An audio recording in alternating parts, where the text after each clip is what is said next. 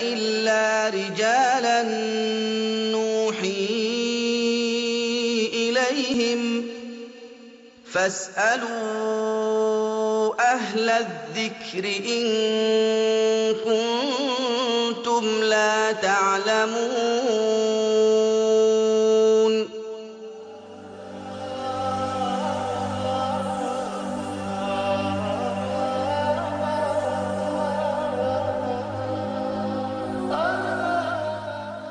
مشاهدينا الكرام السلام عليكم ورحمة الله وبركاته. طبتم وطاب مساءكم بالخير أحييكم وأرحب بكم. أجمل الترحيب في مستهل حلقة جديدة من برنامجكم الجواب الكافي وأسعد وإياكم في هذه الحلقة بصحبة صاحب الفضيلة الشيخ سليمان بن عبد الله الماجد قاضي وعضو مجلس الشورى سابقا الذي يصحبنا في هذه الحلقة مجيبا عن أسئلتكم واستفتاءاتكم. أسأل الله عز وجل لضيفنا التوفيق والإعانة وباسمكم جميعا نرحب بضيفنا الكريم. حياكم الله شيخ سليمان. الله يحييك يا أبا محمد حييتم وحيا الله المشاهدين. بارك الله فيكم. نحيي كل الإخوة والأخوات الذين يتابعون هذه الحلقة ومن أراد أن يتواصل معنا فيمكنه ذلك من خلال الأرقام الهاتفية التي تظهر معكم على الشاشة من داخل المملكة وكذلك من خارجها وعبر وسيلة التواصل الاجتماعي تويتر.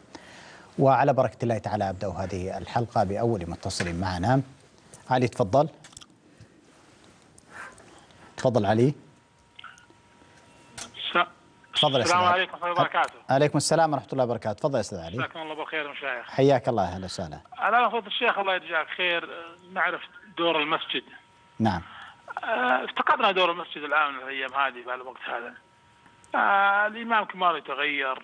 المؤذن ما تدري منه ما في ما في ضوابط المساجد اللي في الرياض أبدا. ما في حي. أنت وأنت الآن عندك في حيك مسجد والشيخ فضيلة الشيخ عنده حي مسجد. دور المسجد انتهى. إن جيت عندك مشكلة معينة تتكلم الإمام ما يدري الامام عن الناس. آم، بالنسبة للإنارة حق المساجد تولع دائما ما تطفى. المكيفات تولع ما تطفى. العمال المساجد صارت صاروا يشتغلون بتغسيل السيارات وتخزين المواد في غرفهم بدون رقيب بدون حسيب. وش دورنا إحنا كجيران مع المسجد هذا من ناحية. نعم. السؤال الثاني الله يجزاك خير بالنسبة للصلاة. نعم. آه، تسوية الصفوف. مسؤولية من؟ مسؤولية ال- ال- الإمام تستمر إلى نهاية الص... إلى نهاية الصلاة ولا مسؤولية المأمومين يخ- يشد بعض يجي واحد مثلا بالركعة الثانية يحاول يقرب المصلي يلقى فتحات ولا ما يقربه؟ هل هل هو مثلا واجب على المسلم إذا جاء بالركعة الثانية والثالثة لقى فتحات بين بين الصفوف إنه يرسل المصلين. نعم. لو فاتتهم الصلاة. السؤال الأخير الله يسلمك. بالنسبة لصلاة سنة الفجر معروف نعم. أن سنة الفجر سنة أكيدة. إذا أنا دخلت المسجد وأقام وأعرف أن الإمام إنه إنه بيطول بالقراءة يمدينا أتسنن و- وقبل الركعة يمدينا أتسنن بالراحة قبل الركعة. هل أنا أصف مع الإمام ولا إني آه، آه، أتسنن عقب الصلاة. طيب. الله يجزاكم خير. شكرا جزيلا أخي علي بارك الله فيك. شكرا الله يجزاك. فهيمة من فرنسا. فهيمة من فرنسا تفضلي. ألو السلام عليكم. عليكم السلام آه. ورحمة الله. لدي سؤالين. تفضلي. آه، طويلين قليلا. آم، هو يوجد رجل يريد أن يسأل. خطيبته خانته مع زوج ابن عمتها عم- آه، خالتها. وبعدها اعترفت. اعترفت له بأنه اعترفت له بخيانتها. وبعدها جرى مشاكل بين بين بين ابنة خالتها وزوجها وزوج ابنة خالتها. فهم الآن آه، يريدون الطلاق. وبعدها آه، وبعدها ما جرى المرأة المرأة التي الآن في في حالة طلاق التي زوجها خانها آه، يريدون أن أن آه، أن يتهمونها بأنها سرقت لذا يريدون يريد أن يطلق أن يطلقها. طيب. والمشكلة أنه ال- المرأة هذه المظلومة الذي- ظلموها قالت للرجل آه، أفهمتني آه، قليلا؟ فهمت يعني فهمت نعم. الخطوط العريضة في القضية يعني يا ريت تختصرين السؤال السؤال يعني السؤال نحن أمام هي حدث قصة السؤال السؤال يقول السؤال يقول أنها هذه المرأة لما آه لما آه لما اتصلت بالرجل التي كان التي خطيبته خانته قالت له آه آه الله وكيلك آه ما بدك تقول الحقيقة. نعم. الله وكيلك لأنك ما بدك تقول الحقيقة آه علشان هيك بدهم يطلقوني وهيك شيء. طيب. هل هو هل هو يفضح هذه خط... خطي... كان التي كانت خطيبته هل يفضحها ويتكلم عن الحقيقة؟ نعم. أو يسكت؟ ماذا يفعل؟ لا يعرف ماذا يفعل في هذه الحالة. طيب. يقول هل أترك هذه المرأة يظلمونها؟ أسكت. هل أو أتكلم؟ ف... فيس... فإذا تكلم نحن طيب. نعلم بأنه سيكون مشكلة كبيرة. أختي فهيمة عندكم مركز إسلامي قريب في في البلد؟ لا لا لا ما عندنا. هنا هنا بفرقة ما عندنا. لذا أنا أتصل بكم وأسألكم. طيب طيب.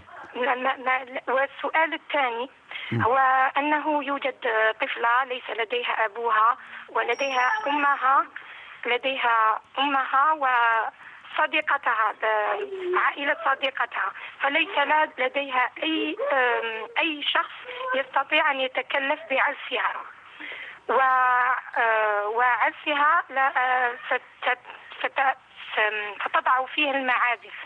فهل يجوز لي أن أذهب إلى هذه الصديقة و... وأساعدها في في في زواجها؟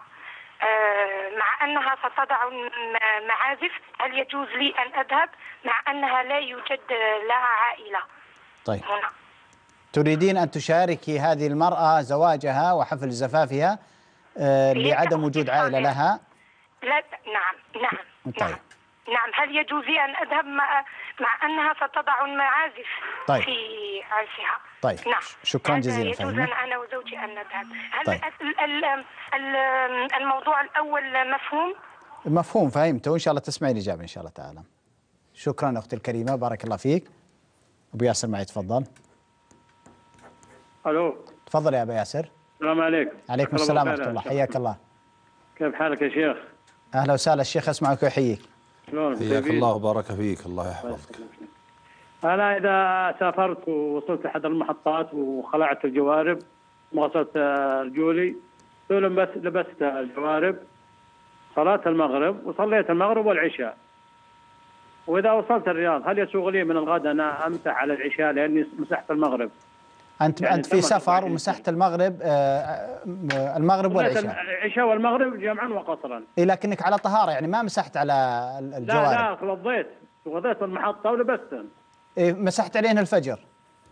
مسحت علينا الفجر وهل يسوغ لي أن أمسح عليهن آه، العشاء؟ لأنه المغرب أنا لبست اي بس أنت مسحت الفجر معناته الفجر والظهر والعصر والمغرب والعشاء. تسأل عن العشاء ال- إذا وصلت إيه، الرياض. لأنه لأنه جمعت أنا جمع.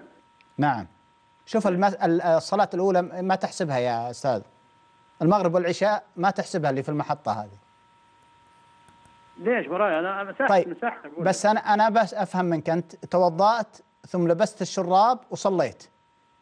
لا توضيت بالطريق ومن آه، مس- مسحت على مسحت على غسلت العشاء اي غسلت المغرب. إيه. وصليت المغرب والعشاء جمعا وقصرا. إيه نعم. طيب ولو 24 ساعة ولا يحق لي أن أمسح آه، العشاء من غدا. إيه لكن قبل صلاة المغرب والعشاء أنت يعني يوم يوم توضأت توضأت وين؟ في في المحطة نفسها؟ في المحطة اي و- ولبست الشراب بعدها؟ ولبست الشراب. وصليت المغرب والعشاء؟ جمعا وقصرا. ثم ذهبت إلى الرياض ونمت وقمت صليت الفجر. صليت الفجر. طيب. هل هل يجوز لي أن أمسح العشاء بالرياض ولا لا؟ طيب تسمع إجابة يا أبو السؤال ياسر الثاني. تفضل. إذا كان لبست آه، جوربين في- في كل قدم وخلعت آه، أحد أحد الجوربين الأعلى وقد آه، مسحت مرتين. وإذا لبست مرتين هل يجوز أمسح؟ أو خلاص ينتهي مدة المسح؟ طيب. تسمع إجابة إن شاء الله. شكرا جزيلا. أحمد معي تفضل. السلام عليكم. عليكم السلام ورحمة الله. تفضل يا أحمد. لو سمحت عندي ثلاث أسئلة. نعم. السؤال الأول ما واجبنا تجاه ما يفعل من هيئة الترفيه في جدة؟ طيب. وغيرها. السؤال نبغى الثاني معلش أحمد. السؤال هذا مهم إنه يعرض رجاء يعني. السؤال الثاني حيرة السؤال الثاني أن ال- ما الصحيح في قضية أنه يعفى عن يسير النجاسات؟ أبغى من الشيخ تفصيل. م- ما ال- ما الصحيح في أنه يعفى؟ عن يسير النجاسة. يسير النجاسة أعزكم نعم. الله. طيب السؤال الثالث. السؤال الثالث أنا لو صليت المغرب وأنا مسافر مع إمام يصلي العشاء مقيم فهل أصلي معه ثلاث ثم أسلم ثم أدخل في الرابعة وأسلم من ركعتين أو أسلم من أربع ركعات؟ طيب تسمع إجابة. شكرا جزيلا أحمد معي متصل؟ أمامة معي تفضلي. أختي أمامة. أمامة تفضلي. طيب. شكرا لكل الأخوة والأخوات. أعود لكم فضيلة الشيخ. الأخ علي يسأل عن دور المسجد. يقول بأن دوره قد انحسر كثيرا في وجهة نظره. فالإمام لا يتفقد جماعته وليس يعني هناك والمؤذن أحيانا آه، لا يقوم بدوره على أكمل وجه وكثير ما يتغير ويتغيب الإمام أو المؤذن ويبقى المسجد بدون متابعة فتبقى الإنارة آه، مفتوحة طوال الوقت وكذلك يعني عامل المسجد غائب عن تنظيفه. وبالمجمل يسأل عن آه، هذا الدور الغائب كيف يعاد للمسجد آه، قيمته ودوره في المجتمع. بسم الله والصلاة والسلام على رسول الله وعلى آله وأصحابه اهتدى بهداه نعم المسجد له دور عظيم في حياة المسلمين فهو أولا مكان العبودية لله عز وجل بهذه العبادات وهي الصلاة وكفى به الحقيقة شرفا وفخرا لهذا الموضع وذلك المكان وهناك آه، مهام وأعمال وأدوار تبعية لهذه الأشياء وهي الصلة والترائي وبين جماعة المسجد الواحد وحمل الهموم آه، كل هذا له دوره. كذلك أيضا هو منارة للتعليم يكون فيه حلق تحفيظ كتاب الله عز وجل ويكون فيها أيضا تعليم العلم الشرعي والمواعظ. كل هذه المهام آه، هي مما يتعلق بهذا المسجد. آه، إن كان هناك أيضا مهام أخرى أو أدوار فقدت فهذا آه، إن كان من تنبيه فهو لجماعة المسجد أنفسهم. والذي أراه أنه ليس هذا دور الجهات المختصة فيما يتعلق بتفعيل دور المسجد من جهة ال- ال- التعارف والتعاون بين جماعة المسجد الواحد.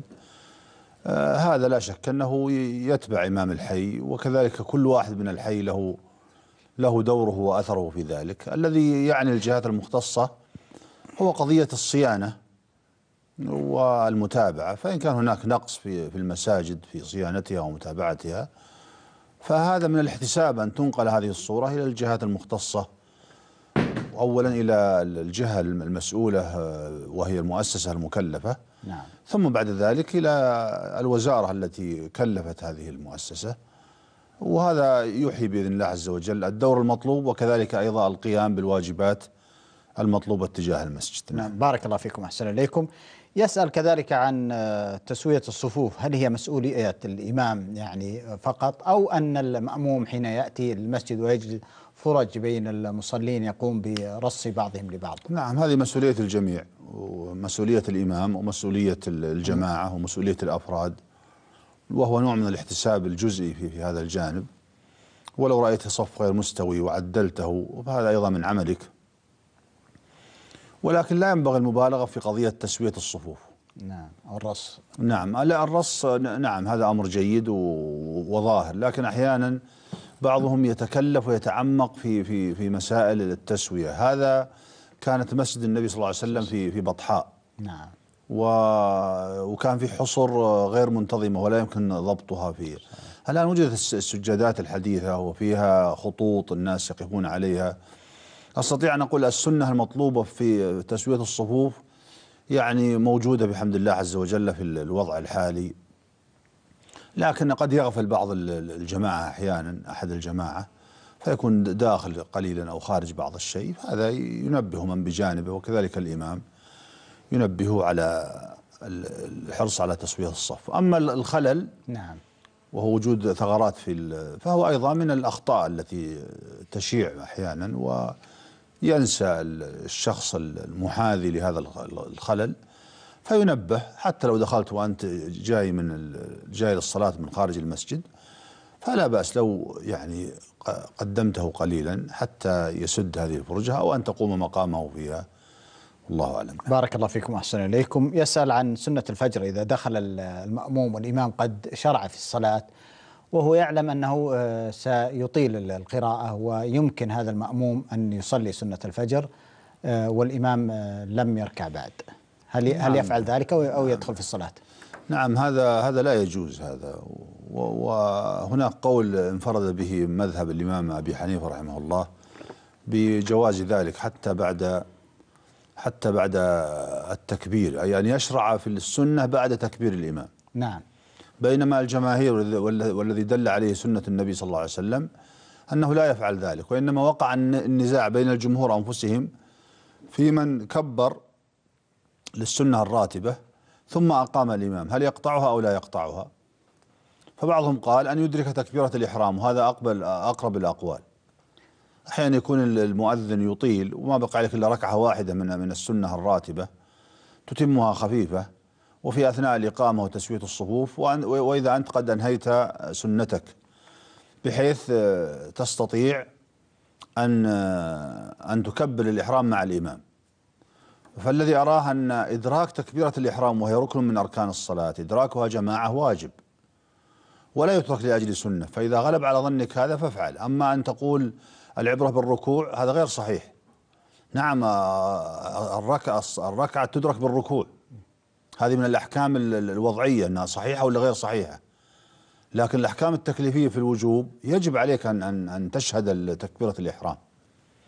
والذي أراه أنك لو كنت في السنة الراتبة وخشيت وغلب على ظنك أنك لا تدرك تكبيرة الإحرام أنك تقطعها. ولهذا قال النبي صلى الله عليه وسلم إذا أقيمت الصلاة فلا صلاة إلا المكتوبة. والمكتوبة تبدأ بتكبيرة الإحرام. فيجب عليه ذلك ولا يربط المسألة بإدراك ال- ال- الركوع كما يظن كثير من العامة والله أعلم. نعم بارك الله فيكم. فهيمة من فرنسا في سؤالها الأول تقول بأنه هناك علاقة بين الرجل وامرأة خطيبته أو زوجته حصل منها بعض ال- ال- الخيانة ثم آه، ساد آه، مشكلة طالت آخرين وكذلك امرأة أخرى وهذه المرأة متزوجة. تسأل عن آه، فضح هذا هذه ال- ال- المرأة والكلام عنها وبيان جرمها أم الستر عليها وما الموقف في مثل هذه الأشياء؟ نعم أولا الستر هو المطلوب الحقيقة أن- والنبي صلى الله عليه وسلم يقول ومن ستر مسلما ستره الله يوم القيامة. وهذا ظاهر لكن آه، تنصح نبدأ بنصيحتها آه، وباللين والحسنى فإن قبلت وإلا فبالتهديد أن يخبر زوجها عن هذا الأمر. فإن لم ترعوي وظلت على علاقاتها المحرمة فلا بأس بإخبار الزوج ليس هناك زوج يرضى لزوجته أن تكون بمثل هذه الصورة. وهذا من الن- النصيحة لهذا الزوج ما دام أنها لم ترعوي ولم تنتهي عما نهيت عنه الله أعلم. بارك الله فيكم أحسن إليكم تقول بأنه يوجد امرأة يعني ليس لها أهل وتريد أن تتزوج وهي صديقة وتريد الفهيمة أن تشارك معها وأن تقوم معها في هذه في هذا الزفاف. وتسأل عن حكم حضور فهيمة هذا الزفاف مع وجود المعازف. نعم لا بأس لها أن تحضر هذا الزواج حتى وإن كان في معازف ولكن تحضر وتؤدي آه، سنة حضور الحفل الزفاف فإن قدرت على الإنكار وإزالة هذا المنكر وإلا انسحبت بلطف واستمرت في مناصحة في مناصحة يعني لا أرى لها أنها تبقى لمجرد أنها دعيت تبقى تحت عزف هذه المعازف المحرمة لكنها بالإمكان أنها تحضر وتسلم وبالعادة دائما آه، هذه الموسيقى تبدأ في وقت معين. صحيح. فإذا بدأت ولم يأتمروا أو لم ينتصحوا بما بنصيحتها فإنها تخرج بلطف في هذا من هذا المجمع. نعم. وتكون قد أدت ما يتعلق بوجوب حضور الدعوة أو حتى سنيتها وأدت أيضا نصيحة. ولم تبقى عند حاضرة لهذا المنكر والله أعلم. بارك الله فيكم وأحسن إليكم. معي محمد تفضل. أخي محمد تفضل. السلام. عليكم ورحمة الله. عليكم السلام ورحمة الله. مرحبا يا محمد تفضل. جزاكم الله بالخير. أهلا وسهلا يا مرحبا. عندي سؤالين. الأول. الأول طال عمرك إذا سافر المسافر مع باص أو مع آه، أي شيء ثم سمع الباص صلى الصلاة الرباعية مع الجماعة. و- والجماعة في بلد يعني مقيمين. ثم نعم. سمع الباص يضربوني. هل يجوز له أن يسلم على الركعتين يجلس؟ لأنه مسافر وي- ويسلم على الركعتين.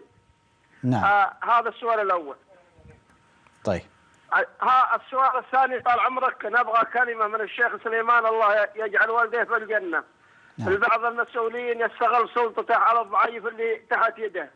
يستغل سلطته عليه طال عمرك وي ويبلشه طال عمرك وقد يكرهه في وظيفته أو قد يرفع فيه ظلما وعدوان.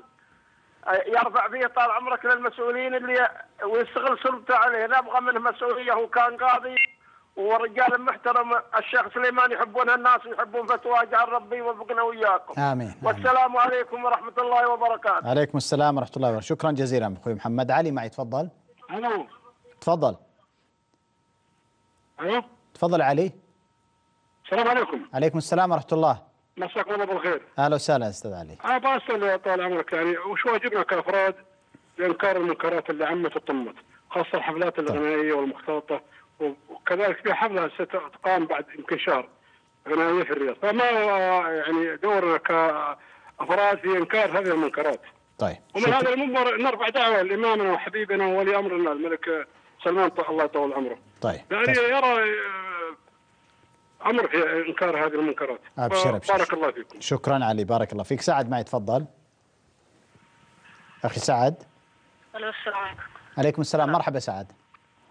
نعم. تفضل أستاذ يا شيخ أنا عندي الحين شو اسمه لا إله إلا الله. السؤال الأول عندي نعم. أربع أسئلة. الأول. السؤال الأول آه، دخلت مكة وعلي كنادر اللي هي الجوارب طبعا مغطية الكعب. ودخلت لين وصلت باب الملك عبد العزيز. نعم. ثم فسختها وحطيتها في كيس فهل علي شيء؟ أنت محرم؟ آه، إيه ما أنا محرم. جاي بأدي آه، العمرة. طيب كنت ناسي ولا جاهل في اللذا ولا؟ لا أنا جاهل. جاهل ما أدري وش. طيب السؤال السؤال الثاني الثاني السؤال الثاني اللي هو الحين إحنا في رايحين مسافرين طبعا. نعم. وجالسين في استراحة طبعا مرحلة سفر. فجاء نص الجماعة وصلينا آه، القصر آه، صلينا القصر في اللي هي الظهر. الظهر والعصر قصرا. ثم نص الجماعة الثانية خلوها واحدة واحدة ما الحكم في هذا؟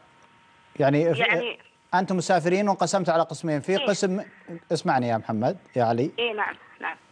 قسم منكم صلوا آه، ج- جمع وقصر وقسم منكم صلوا آه، يعني افردوا كل صلاة الصلاه في حالها كل اليوم. في حالها. طيب. أيوه. تسمع اجابه السؤال الثاني يا شيخ آه، نعم. آه، السؤال الثالث آه، هل يجوز يعني آه، فيه واحد كان في آه، ديرة بعيدة؟ يعني مثلا في رمضان يوم أو يومين في الصيام.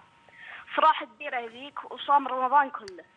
يوم آه، رجع آه، في السعودية لقى الناس آه، يصومون. طيب. يعني فيه إساءة ظن آه، أو فما فماذا يفعل؟ طيب.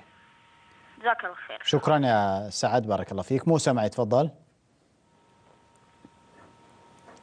موسى تفضل. السلام عليكم. عليكم السلام ورحمة الله. سؤالي هل يجوز دفع زكاة الماء لشخص لم يتمكن من دفع فاتورة الكهرباء. أرف- أرفع صوتك يا أستاذ موسى إذا تكرمت. هل يجوز ماذا؟ دفع زكاة المال لشخص لم يتمكن من دفع فاتورة الكهرباء لصعوبة وضعه المادي. طيب. شكرا. بارك الله فيك. شكرا لكل الإخوة والأخوات. أعود لكم فضيلة الشيخ. هنا سؤال من آه، أبي ياسر يقول إذا سافر آه، يقول أنا مسافر وفي الطريق دخلت آه، مواضع الماء وتوضأت ثم آه، لبست ال- ال- الجوربين وصليت المغرب والعشاء جمعا وقصرا ثم آه، وصلت إلى منزلي فمتى يبدأ ال- هل يستمر معه ال- المسح من آه، هل يبدأ المسح من هذه الصلاة أم من صلاة الفجر وكم يستمر؟ نعم يعني بعض الناس يقول إنها من اللبس بعض عامة الناس وهي ليست من اللبس فيعني الاحتمالات التي شائعة عند الناس طبعا ليست بالضرورة من كلام الفقهاء. هي عند اللبس والثانية عند ال- عند ال- الحدث مباشرة والثالثة عند المسح بعد الحدث. نعم. والصحيح أنها تبدأ من المسح بعد الحدث. يقول هو توضأ المغرب. نعم توضأ المغرب آه، و- ولبس الجوربين وصلى المغرب والعشاء. بقي على طهارة طهارة الوضوء المغرب والعشاء. نعم. آه، وتوضأ آه، ومسح الفجر الفجر. مؤكد نعم. نعم. آه، حينئذ يبدأ المسح من الفجر وليس من المغرب أو العشاء. نعم. فيستمر إلى إلى آه، المفروض أن توضأ مع أذان العشاء بالضبط أذن العشاء فقام فتوضأ ومسح الآن بدأ المسح فهو يمسح إلى يوم الغد من الفجر فإذا جاء قبل الفجر فإنه يخلع و و ويغسل رجله نعم. فمدة المسح تبدأ من المسح بعد الحدث. نعم. هو الأخ الآن مسح الفجر لصلاة الفجر بعد الحدث بعد النوم. فيبدا مسح بعد الفجر؟ إيه، قال لصلاة الفجر مسح لصلاة الفجر. نعم. فيبدأ ف- من الفجر. فله 24 ساعة من حين مسح. نعم. فأفرض إنه مسح مع الأذان مع أذان الفجر. نعم. يستمر مدة المسح إلى أذان الفجر الآخر. إلى أذان الفجر في اليوم التالي. لا يصلي الفجر. ولا, ولا نقول هنا مع مع وقت الوضوء وهو المغرب. نعم بارك ولا. نقول كما يقول العامة أنه خمس صلوات. نعم. بارك الله فيك. يقول إذا لبست جوربين ومسحت عليهما ثم آه، خلعت أحدهما. يعني خلع الجورب الأعلى هل ينتقض وضوء؟ نعم. الذي عليه جماهير العلماء أنه إذا مسح على الفوقاني ثم خلعه آه، انتقل آه، يعني زال حكم المسح. لكنه يبقى على طهارة المسح على الصحيح. لكن حين خلع مسح عليه وخلعه فإنه لا اعتبار ل لا اعتبار لمسحه هذا والله أعلم. بارك الله فيكم وأحسن إليكم. استاذنكم فضيلة الشيخ في فاصل إعلاني قصير. نعود بعد المتابعة. نسأل ببقائكم ومتابعتكم. فابقوا معنا.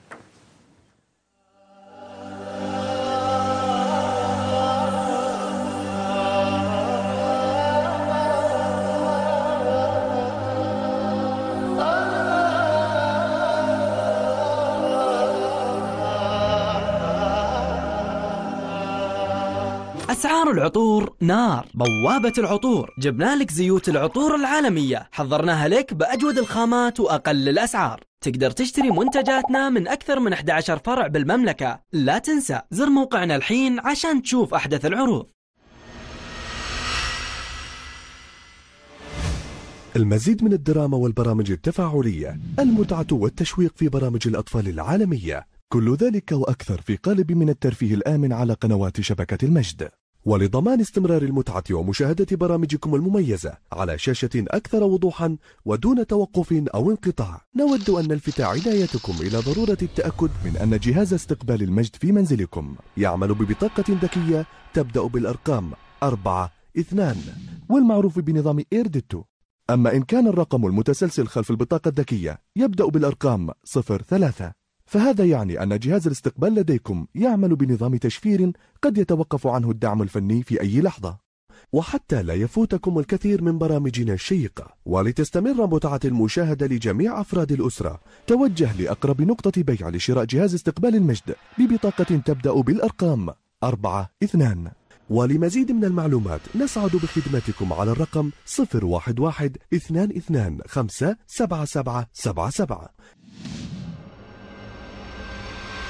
شبكة المجد القنوات الآمنة للأسرة.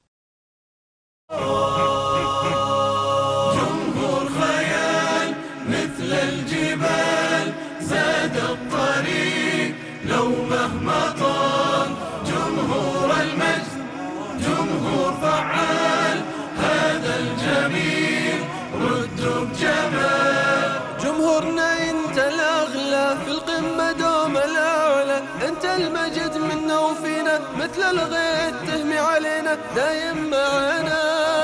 في كل مكان يتحدى معنا في كل زمان. بيننا وبينكم عشرة عمر لأنكم معانا على طول الطريق. وتقديرا لوفائكم راح نقدم لكم شهر مجانا عن كل سنة قضيتوها معانا. عند تجديد اشتراكك في باقة 24 شهر ب 999 ريال. شكرا جمهور المجد شبكة المجد القنوات الآمنة للأسرة.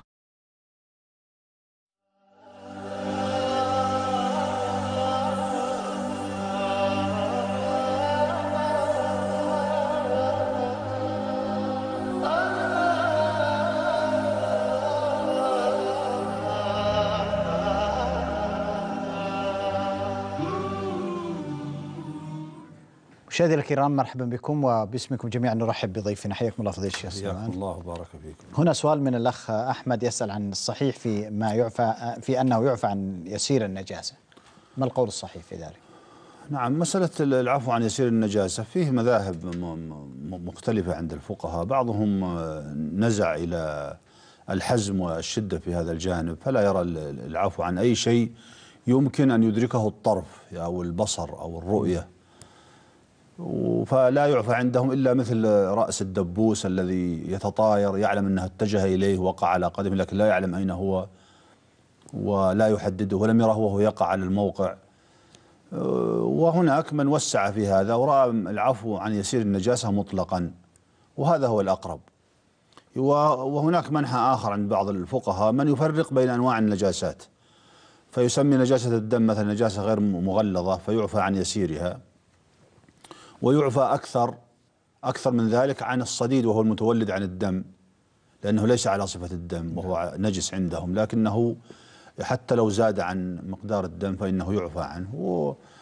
وهناك من يجعل النجاسات المغلظة مثل أجلكم الله البول والعذرة وغيرها بأنه لا يعفى فيها عن يسير. لكن الأقرب الأدلة الشرعية والذي اختاره جمع من العلماء المحققين منهم ابن تيمية رحمة الله تعالى عليه أنه يعفى عن يسير النجاسة مطلقا سواء كانت ناتجة عن حرج أصلي مثل من به سلس بول أو به مرض أو به باسور أو ناسور أو استطلاق مثلا من الدبر أو القبل أو كان في الحالة الطبيعية. وكلما صغر الشيء وكان يعني معفى عنه. وإن قيل ما هو ضابط اليسير هو ما لا يتفاحش في النفس آه، على وجه الاعتياد أو ما يعده الناس قليلا آه، يسيرا. آه، لكن ما هو ضابط معرفة ال- القواعد الضابطة لمعرفة القليل والكثير؟ العلماء قسموها إلى ثلاث أقسام. النجاسة التي تطرأ على بدن الإنسان أو ثوبه أو بقعته. فمنها ما يجزم أنه كثير فهذا يأخذ حكم الكثرة وهو نجس. وتت- عفوا تترتب عليه أحكام النجاسة. ومنه ما نعلم أنه قليل مثل رأس الدبوس وعين النملة كما يقولون. فهذا ظاهر أيضا أنه يبقى دائما الإشكال في ال- المنطقة الو- المتوسطة هل يعتبر من الكثير ولا من القليل. هناك من قال أنه يلحق آه، هل متوسط المشكل يلحق بالقليل؟ لأن الشريعة جاءت باليسر. وهناك من قال بأنه يلحق بالكثير لأن الأصل بقاء عين النجاسة وكونه نجس ونحن مخاطبون بالتكليف الشرعي فيما يتعلق بالنجاسات فلا نخرج منها إلا بغلبة الظن وه- وهذه محل شك. وهذا أقرب ال- الاستدلالات في هذا الموضع. فإذا نقسمها إلى ثلاثة أقسام. قليل ظاهر من حيث العرف هذا معفو عنه إن شاء الله عز وجل مثل قطرة الدمعة ومثل الشيء اليسير وكثير ظاهر فهذا تترتب عليه الأحكام. ومتوسط بينهما مشكل فهذا يلحق بالكثير في أصح الأقوال. وإن كان أبو حامد الغ- الغزالي رحمه الله قد مال إلى اعتبار آه، إلحاقه بالقليل. نعم لاعتبار اليسر في الشريعة لكن الأصول تقتضي أنه باق على حكم النجاسة في كون تجتمع فيه أوصاف النجاسة ال- ال- المعلومة ولم يعني يوجد شيء في غلب الظن يخرجنا من هذا الأصل. فنبقى على حكم النجاسة في هذه الحال والله أعلم. بارك الله فيكم أحسن إليكم. يسأل كذلك عن لو صلى المغرب وهو مسافر مع إمام يصلي العشاء آه، مقيم. هذا الإمام هل آه، يسلم يجلس الثالثة ثم يسلم ويلحق به أم ماذا يفعل؟ أولا لا أرى أن يدخل الإنسان مع آه، إنسان فاتته المغرب ويصلي مع إمام يصلي العشاء. لا أرى له ذلك لوجود الاختلاف بين صورة صلاة الإمام وصورة صلاة المأموم. والنبي صلى الله عليه وسلم يقول آه، إنما جعل الإمام ليؤتم به إلى أن قال فلا تختلفوا عليه. وهذا من الاختلاف عليه سواء قلنا بأن ننتظر حتى يسلم فنسلم معه أو ننصرف عنه. كل هذه صورة من صور الاختلاف الظاهر. تجلس والإمام يصلي وأنت قد دخلت معه في الصلاة. وهذه مخالفة ظاهرة وإن أفتى فيها بعض العلماء. وكذلك أيضا إذا آه، افترقت عنه إذا انفصلت عنه. أيضا هذه مخالفة ظاهرة بحيث أنك تسلم وحدك والإمام يؤدي بقية صلاته طيب ما هو المخرج؟ الصحيح أن الإنسان إذا أراد أن يصلي الم- المغرب مع وهو مسافر مثلا أو غير مسافر ويريد أن يصلي ال- ال- العشاء فيبدأ على الصحيح بالعشاء ويترك المغرب. المغرب الآن. ويعبر عن هذا بعض العلماء كابن تيمية رحمه الله بقوله لحرمة الصلاة الحاضرة. الصلاة الحاضرة فيها حرمة الجماعة. فإذا يسقط هذا عنك مسألة وجوب وجوب ال- ال- الترتيب بين الصلوات المقضية. فتصلي معه العشاء بنية العشاء أربعا ثم تصلي بعد ذلك المغرب. وهذا مذهب الشافعي فيما هو أوسع من ذلك لا يرى وجوب الترتيب بين ال- المقضيات. لكن إذا إذا كان عندنا حاضرة وعندنا فائتة فهنا تقدم حقوق الحاضرة على حقوق الفائتة فيصلي معه العشاء بنية العشاء ثم يصلي بعد ذلك المغرب ولا حرج عليه في ذلك والله أعلم بارك الله فيكم وأحسن إليكم. آه، هنا سؤال آه، من الأخ محمد يقول إذا سافر آه، مسافر وصلى مع مقيم مع جماعة فهل يعني دخل معهم بنية أن يتم لكنه مثلا صحبته سافرت أو طلبوه إلى الركوب هل يسلم عن ركعتين؟ له علاقة في السؤال الأول هذا شيخ. يعني هو يصلي العشاء معهم مقي... مع جماعة مقيمة وهو مسافر. فدعوه صحبته وخاف فوات ال- الر- ال- الحافلة فهل يسلم ركعتين مثل العشاء أو الظهر نعم هذا قول لبعض السلف وهو مذهب عطار رحمه الله وغيره ولكن ال- الراجح هو ما عليه الجمهور من أنه يجب عليه أن يتم خلف خلف الإمام ولكنه إن ظن أن هذه الرفقة تفوت أو أنه يشق عليهم مشقة عظيمة بسبب ارتباط معين أو شيء من هذا القبيل فله أن ينصرف. لا بأس. النبي صلى الله عليه وسلم أذن لي للرجل العسيف ال- أي الأجير الذي أطال عليه معاذ رضي الله تعالى عنه كان عندنا واضح أي يعني يسني إبل يسني على على هذه الإبل أي يستخرج الماء عن طريق الإبل. وهذا ال- السقيا في الحقيقة. هي مسؤوليته وسيغضب عليه سيده أو يغضب عليه ال- ال- المستأجر. فهذا نوع من الحرج فأذن فلم ينكر عليه النبي صلى الله عليه وسلم أنه قطع صلاته.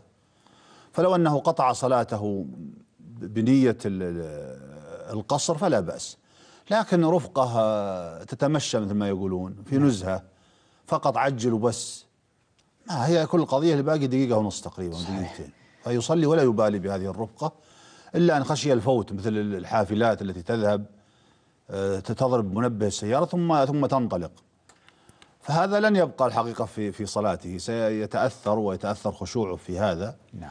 فلا بأس حتى لو انصرف عن اثنتين وجعلها مقصورة. لا بأس بذلك والعلماء نصوا على هذا وقالوا بأنه يجوز للإنسان إذا دخل بنية ال- الإتمام أن يقصر وإذا دخل بنية القصر أن يتم. يعني بمعنى إذا صلى يظن الإمام مقيم وهو وهو مسافر. فتبين الإمام مسافر. لا يضرك أنك دخلت بنية بنية الإتمام. وكذلك العكس لا يضرك أنك دخلت بنية القصر. إذا كنت تظنه مسافر فتبين مقيما. فإذا وجدت الحاجة وانصرف من اثنتين بنية ال- القصر مع الحاجة أقول.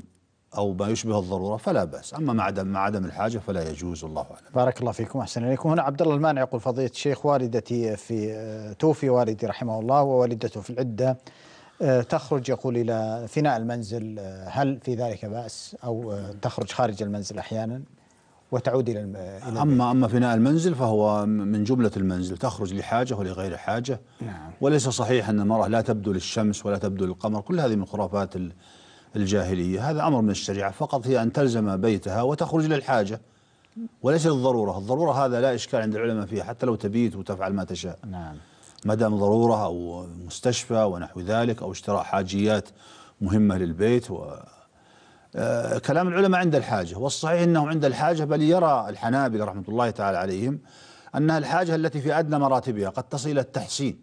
نعم. وهي المؤانسة. ويروون في ذلك حديث هو في المراسيل. لكن يروونه على سبيل الاحتجاج. وهو اجتماع نساء زوجات شهداء أحد في منزل إحداهن في النهار ثم تنقلب كل واحدة من منهن إلى بيتها إذا إذا جن الليل. فهذا يستدل به الحنابلة على جواز الخروج من البيت إلى بيت الجارة ونحوه للمؤانسة في أثناء النهار إذا كانت تجد وحشة. فهي حاجة أنا اللي أراه الوحشة هي حاجة. نعم. خلاف المؤانسة التي تدعو إليها التحسين فقط.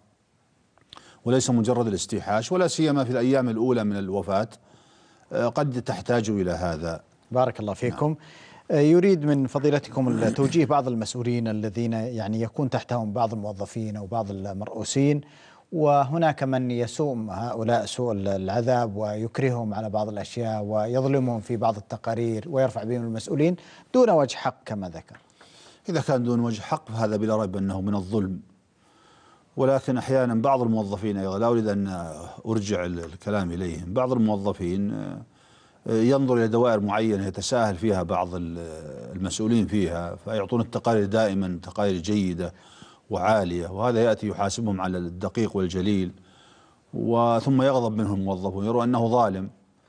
ومع الأسف أن بعض الموظفين يظهر منهم وصار الظاهر عند بعض الموظفين التسيب عدم المحافظة على الدوام وعدم الإنتاج وعدم الجودة في العمل. فإذا وجد مسؤول يحاسبهم عن عن الدقيق والجليل غضبوا عليه. لكن الحقيقة المرجو من الأخ أنه ليس من هذا النوع. وأن هذا المدير قد ظلمهم فعلا. قد ظلمهم. ومسائل القياس في الحقيقة لا يحسنها الكثير مع الأسف الشديد من المسؤول من المدراء ومدراء الجهات والمؤسسات وغيرها. وأحيانا يحاسب الموظف على مقتضيات مثالية أحيانا. والواجب في نظم القياس حتى قياس التعليم وقياس الأثر عند الموظفين. إنما تنظر إلى هذا الموظف من خلال البيئة التي يعيش فيها في بيئة العمل أقصد. نعم. وينظر إليه من خلال المعطيات التي منحت لهذا الموظف والقدرات التي أعطيت لهذا الموظف من خلال التدريب والتأهيل والكفالات والضمانات ونظم التأمين وغيرها من المزايا التي تعطى الموظف المجود. ثم يأتي يحاسبه على أنه قد أخذ دورات متكاملة ووجد دعم علمي وعملي ونفسي وترتيب وبيئة مهيئة في هذه المؤسسة أو تلك الشركة أو هذه الدائرة. ثم يحاسبهم على مقاييس عالية جدا تكون مثلا في بعض البلدان المتقدمة في في هذا. هذا أيضا ظلم. والمفترض أن تكون المقاييس على وفق المعايير التي في البلد وعلى المؤسسات والشركات والدول أيضا أن ترقى بنظم العمل ثم بعد ذلك تحاسب الموظف على تقصيره وعلى أخطائه وعلى عدم جودة عمله. لكنها إذا لم تفعل فإنها آه، تخفف مسائل المعايير والمقاييس في في في هذا الجانب. ولهذا يقول خبراء التعليم مثلا وهذا مهم في قضية الظلم والعدل يعني فرقا تأتي لدولة متخلفة في بعض القارات مثلا ثم تجيب مقاييس في دولة متقدمة جدا وعالية بنفس المقاييس تطبقها على هؤلاء. نعم الأب أمي والأم أمية والشارع لا يعين والمدرسة غير مهيئة. ثم يأتي بنفس المقاييس التي في اليابان ويطبقها على بعض الدول الفقيرة الأفريقية وغيرها. هذا ظلم وإن زعم أن هذا نوع من الحزم والصرامة. فلذلك ينتبه لا مسؤولي التعليم ولا كذلك أيضا المسؤولين في في التقويم والمتابعة في في هذا. أن ينظر إلى ما أعطي إليه الموظف ثم على أساسه يحاسب ذلك الموظف الله أعلم. نعم بارك الله فيكم. معي رقية من ليبيا تفضلي. أختي رقية تفضلي. رقية من ليبيا تفضلي. عندي سؤالين. تفضلي السؤال الأول. هل يجوز للمرأة قيادة السيارة؟ السؤال الثاني. هل يجوز للشيخ تدريس المرأة البالغة؟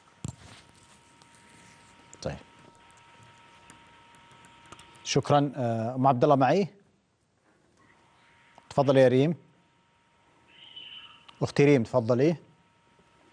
ألو؟ تفضلي يا ريم. السلام عليكم. عليكم السلام ورحمة الله. آه لو سمحت سؤالين يا شيخ. أم عبد الله تفضلي. أنت أم عبد الله ها؟ نعم أم عبد الله. تفضلي. آه يا شيخ جارتنا توفي زوجها وعندها أم مقعدة في البيت يعني حتى في غيبوبة.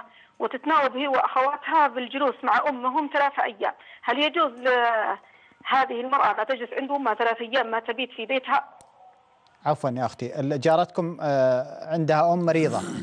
أيوه مقعدة. نعم. وحتى في غيبوبة يعني. طيب. ويقومون برعايتها و... وتتناوب هي وأخواتها ثلاثة أيام. بعد آه، الآن مات زوجها هذه المرأة. هل يجوز انها تبيت عند عند أمها ثلاثة أيام؟ هو سامح لها زوجها ولا ما سمح لها؟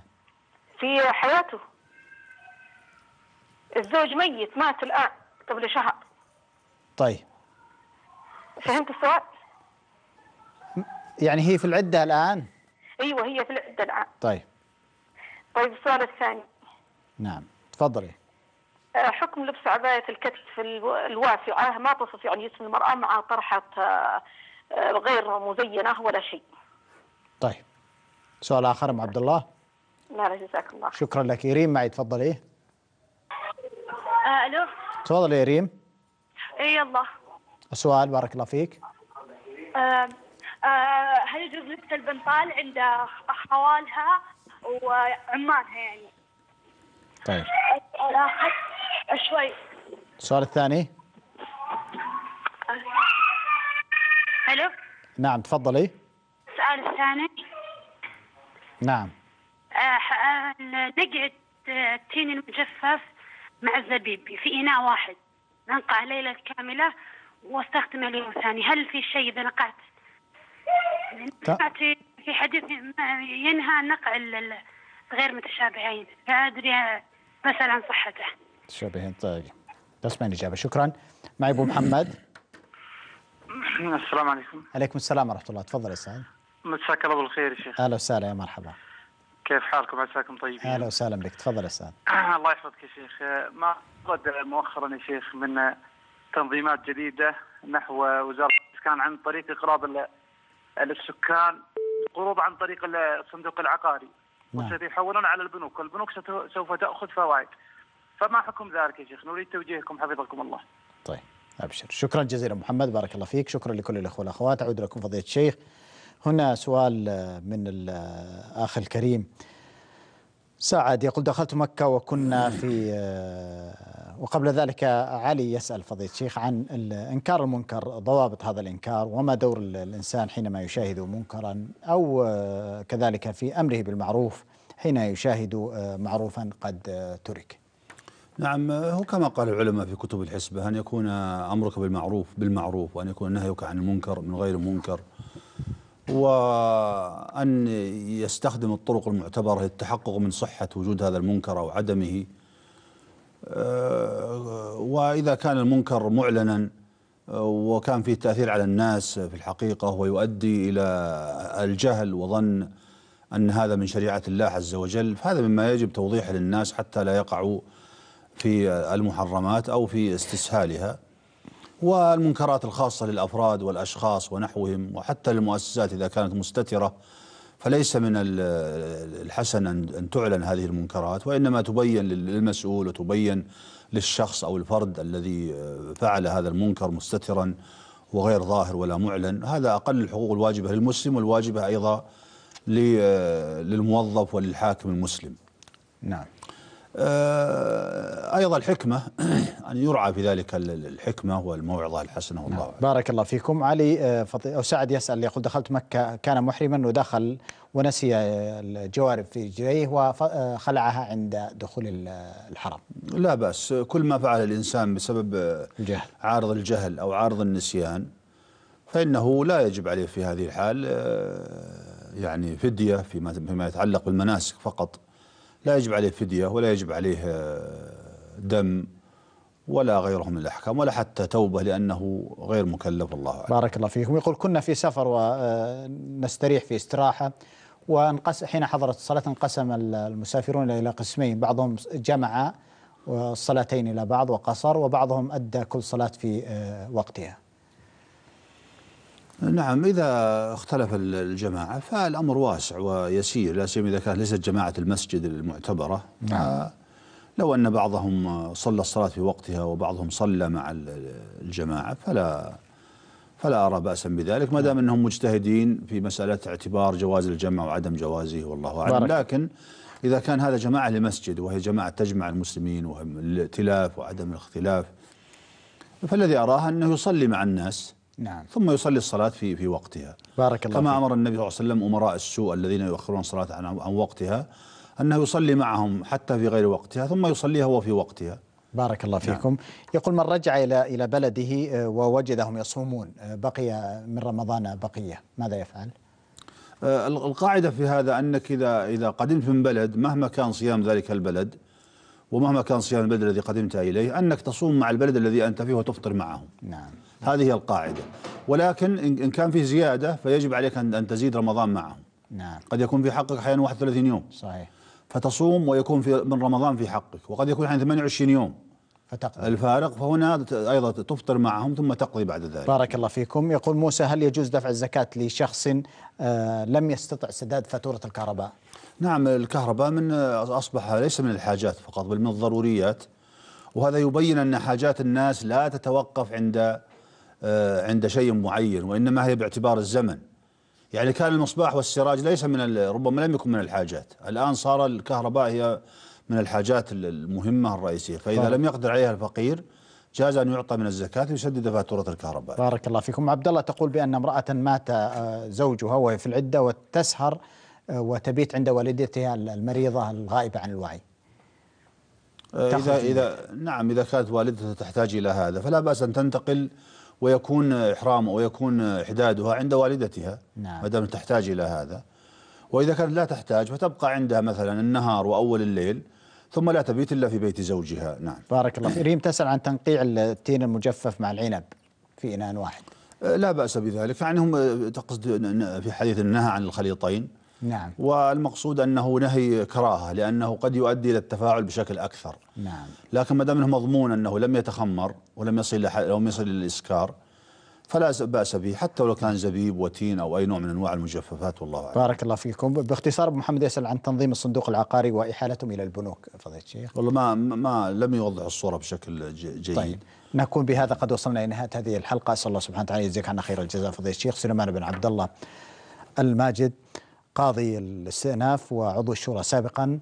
أسأل الله سبحانه وتعالى يجزيك عنا خير الجزاء. حياكم الله وبارك. شكرا جزيلا لكم. شكرا لكم متابعي هذه الحلقة حتى الملتقى. نستودعكم الله. لكم تحية الزميل نبيل شعبان. مخرج هذه الحلقة والأستاذ أحمد الهلي المترجم لغة الإشارة. تحيتي وتحية الزملاء. والسلام عليكم ورحمة الله وبركاته. وما أرسلنا من قبلك إلا رجالا نوحي فاسألوا أهل الذكر إن كنتم لا تعلمون